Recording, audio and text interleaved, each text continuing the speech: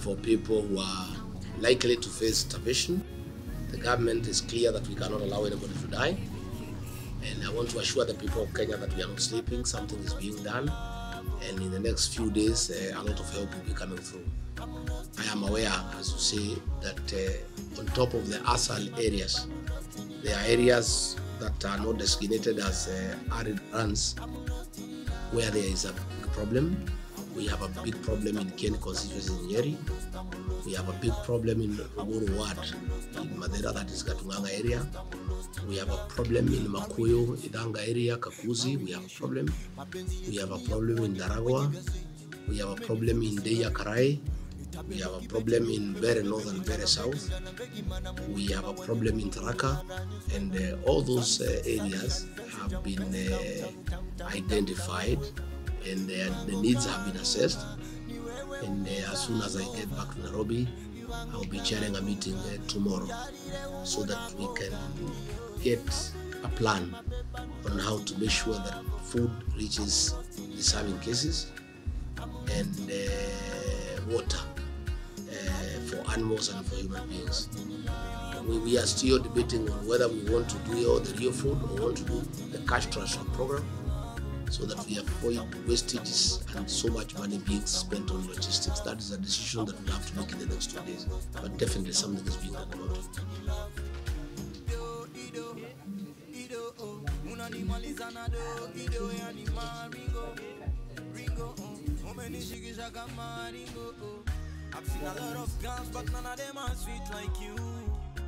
There are things that can wait. You know, this uh, traveling abroad, they can wait. People can travel when things get a bit better.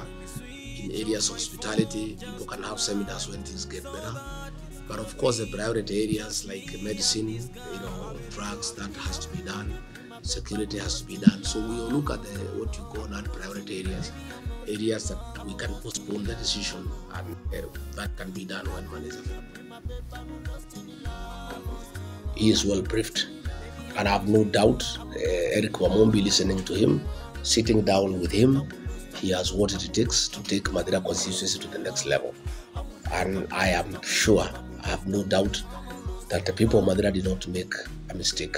I believe they made the right decision, I included because I voted for him. I've also assured him of support from the national government, from President William Ruto and I, that whatever the national government needs to do for Mathira constituency, William Ruto, our president, and I will be available to him. I have urged him to stay in touch with us continuously. We are available to him and the people of Mathira so that we listen to whatever needs are there. And he is lucky because I quite understand this constituency and therefore I'll be of quite some bit of help. The same applies to our president who has also been there here, you know, repeatedly. So I want to take this opportunity to thank all of you for the support that you accorded me for the last five years. Those of you who are in the national government uh, constituency development fund, I want to say thank you. This work would not have been possible with I alone. I cannot take for granted your contribution. I am very grateful to you for the support that you gave to me. For those who are in the constituency office, I want to say thank you. The constituency uh, office manager, my uh, personal assistants, the secretaries, the messengers, and the people who are in charge of the locations, our coordinators. I really want to say from the bottom of my heart, uh, I could not have done it alone. And I'm really, really very, very grateful. And I ask those of you whom the Member of Parliament will retain to accord him similar support and make sure that you support him uh, throughout so that he can he can succeed. In a very special way, I want to thank the people of Mathira, where my political journey began. The people of Mathira are very special to me because when things became very tough and the criminal justice system was weaponized against me, all our projects were suspended to punish me and to coerce me to abandon my political beliefs. The people of Mathira stuck with me and they told me not to be intimidated they told me not to be coerced. They told me not to be pushed around. They are with me 100%. And that is how I was able to take a firm stand. Had the people of Mathira wavered, and decided because I was under siege and projects were being stopped and they abandoned me, I will not be where I am today. So I'm really very grateful to the people of Mathira who essentially are the descendants of the Mau Mau. These are courageous people. They are people who are brave, and they are people who urged me to stay to stay firm and not to be intimidated. And they hung around me, and they stood with me. They prayed for me and supported me. And most importantly, finally, when it came to the ballot, they came out and voted for William Ruto and I to a man. I'll be forever be grateful to the people of Mathira, and I want to assure them that I'll, though I'm busy with the national duties, Mathira is my home. I'll always be here, and whatever I can do for the people of Mathira, I'll be very, very happy to do it uh, for them. Finally, I want to thank my church leaders in Mathira, the Mathira Ecumenical Forum, for their support and their prayers. I have told the new member of parliament to work closely with the church leaders. I believe I succeeded largely because of working with them. Our church leaders, our pastors, our reverends, our bishops are good people. They are honest people. And when you work with them, you cannot go wrong because they are with people every day. And they are very useful people in terms of giving you what people are saying and what people want. And what I did is that with continuous engagement with our church leaders, I was on top of things. I knew exactly where there is a problem and where there is none.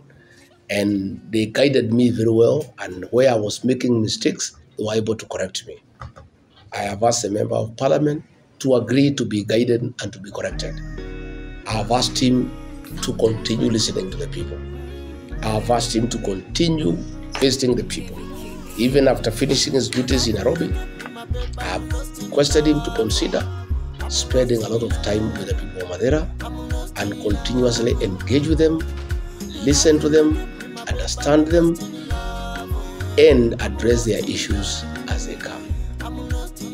So, with those very many remarks, once again, I want to say thank you very much. I want to say thank you very much, you good people, for supporting me, for studying with me, and for us succeeding together. The successes that we have made in Mathira are not mine alone.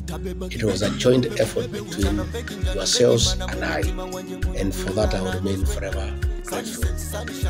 I want to wish Honorable Eric Wamumbi the very best. We'll hold you in prayer. If you need our advice, I'll be available. If you need my counsel, I'll be available. If there's anything you want me to help you to do, I'll always be there. If you feel you are stuck somewhere and it's not very clear, please don't hesitate to call me or come and see me. I'll always be available.